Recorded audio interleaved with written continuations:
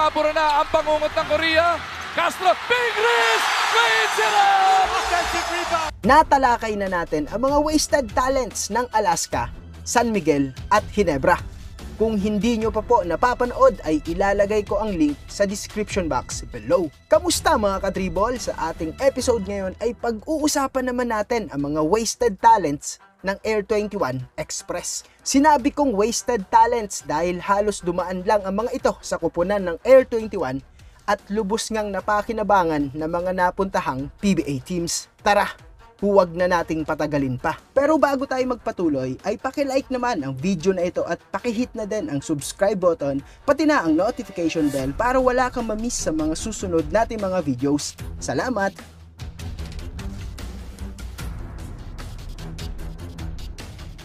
First overall pick ng Air 21 Express noong 2005 PBA draft ang two-time PBA Best Player of the Conference na si Jay Washington. Hindi pa man opisyal na nakakapaglaro para sa kupunan ng Air 21 ay na-trade na si Washington papuntang Talk and Text. Noong early years nga ni Washington sa PBA ay aakalain mong import ito dahil maaasahan sa rebounds malakas sa loob ng shaded lane at mayroon ding reliable 3-point shot. Patunay nga ng husay ni Washington sa basketball ay ang pagiging 3-time PBA Mythical First Team member, 4-time PBA All-Star at 3-time PBA Champion. Bukod sa talk and text ay napaglaruan na din ni Washington ang mga kupo ng San Miguel, Global Port, Rain or Shine at ngayon nga ay nakabalik uli ito sa TNT. Ilan nga sa mga nakasabay ng 2014 FIBA Asia Bronze Medalist na nakilala din sa PBA ay sina Mark Macapagal, Larry Fonasher, Mac Cardona at Alex Cabagnot.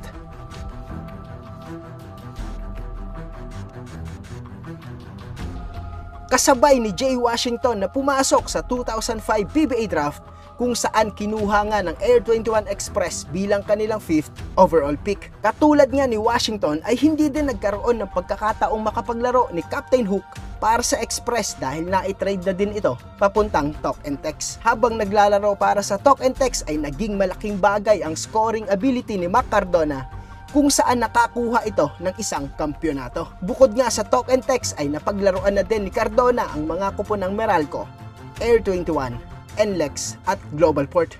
Sa buong stint naman ni Mac Cardona sa PBA ay ilan lang sa mga awards na naiuwi nito ang PBA Finals MVP, PBA Best Player of the Conference, 5-time PBA All-Star at napasama din sa PBA Mythical First Team. Katulad ni Jay Washington ay nakasabay din ni Captain Hook sina Leo Nahorda, KG Canaleta at Denok Miranda.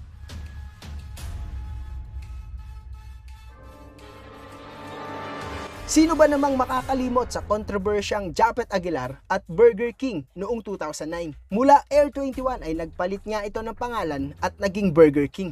2009 PBA draft ay kinuha nga ng Burger King si Japet Aguilar bilang kanilang first overall pick. Ngunit bago pa nga mag-umpisa ang 35th season ng PBA ay sinabi nga ni Aguilar na mas gusto nitong maglaro sa Smart Gilas Pilipinas kaya gumawa ito ng tensyon sa kupunang kumuha sa kanya. Nanganganib nga noon si Aguilar na maban sa PBA pero mabuti na nga lang at nasettle ang issue at pumirma na si Japet Aguilar sa Burger King. Sa unang laro naman ni Aguilar sa Burger King ay pinatunayan nitong siya nga ang next important big man sa liga matapos magtala ng 9 points, 10 rebounds, 2 assists at 1 block. Nakapaglaro man ng isang game sa Burger King, ay yun na din pala ang huli ni Aguilar dahil na-trade na ito papuntang Talk and Text at nirelease nga papuntang Smart Gilas kupunang gusto talagang paglaruan noon ni Japet. Bukod nga sa Burger King at Talk and Text ay nakapaglaro din si Aguilar sa Global Port at ngayon nga ay malaking dahilan sa success na nakukuha ng Hinebra. Lubos ngang nakatulong ang pagiging athletic at high-flying big man ni Aguilar para makakuha ng anim na PBA championships at bukod nga sa pagiging PBA Finals MVP ay nahirang din si Jumping Japet na 7-time PBA All-Star, 2-time PBA Mythical Second Team Member, 2-time PBA First Team Member at 3-time PBA All-Defensive Team Member. Malaking bagay din si Aguilar sa success ng Gilas kung saan nakapag-uwi din ito ng bronze, silver at gold medals para sa bansang Pilipinas. Ilan nga sa mga nakasabay ni Japet Aguilar na gumawa din ng magandang karir sa PBA ay sina Jervy Cruz, Rico Meyerhofer at Chris Ross.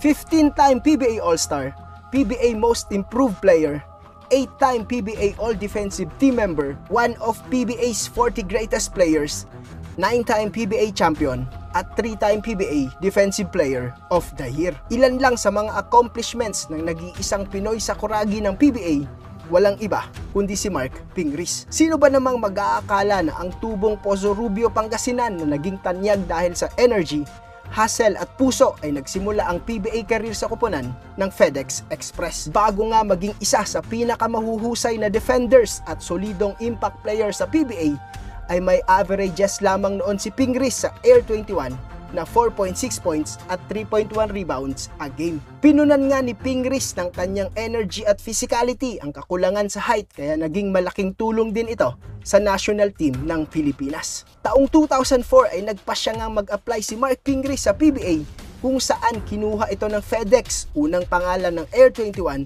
bilang kanilang third overall pick. Hindi nga nagtagal ay nailipat din kaagad si Pingris sa kuponan ng Pure Foods at napunta ding San Miguel bago nagbalik at hanggang ngayon ay nasa prangkisa pa din ng Pure Foods. Dahil nga sa work ethic at hustle ni Pingris ay marami ding PBA players ang iniidolo talaga ang miyembro din ng 2014 Grand Slam team na Sunmig Coffee. Ilan nga sa mga nakasabay ni Mark Pingris na tumatak din ang pangalan sa PBA ay sina Gary David, Sanitos, Ranidel de Ocampo at James Shop. Kasama naman sa mga honorable mentions na mga wasted talents ng Air 21 ay ang first 3 picks nila noong 2010 PBA draft na sina Nonoy Baclao, Raba Ahlausaini at Ray Guevara. Sa halos buong paglalaro kasi ng tatlo sa PBA ay halos naging role players lang at hindi nga ganoon ang expectations ng mga tao lalo na at top picks ang nasabing trio. Kasama din sa honorable mentions ng mga wasted talents ng Air 21 ay sina Renren Ritualo, Ranidel de Ocampo at Arwin Santos. Hindi dahil sa hindi magagaling ang mga ito, kundi dahil sayang at pinakawalan kaagad ng Air 21 at naging mga stars nga sa PBA. Sayang, isa ang kupunan noon ng Air 21 na nabiyayaan sana ng mga mahuhusay na manlalaro pero halos dumaan nga lang sa kanila at naging sobrang laking tulong para sa mga napuntahang PBA teams. Ikaw ka dribble, tingin mo if nagstick pa sana ng kaunti ang mga manlalarong ito sa Air 21 ay posible kaya na may PBA championship na sana ang Air 21 Express. Kadribol, gusto ko lang batiin kayong lahat ng Merry Christmas. Naway kasama nyo ang mga mahal nyo sa buhay ng safe at masaya. God bless po sa ating lahat. Kung nagustuhan mo ang kwento natin ngayon ay pakilike naman ang video na ito at kung hindi ka pa nagsusubscribe ay pakihit na din ang subscribe button pati na ang notification bell para wala kang mamiss sa mga susunod natin mga videos. Salamat sa panonood. Ito nga ang Basketball Ace at taga sa mga susunod natin mga videos. Salamat!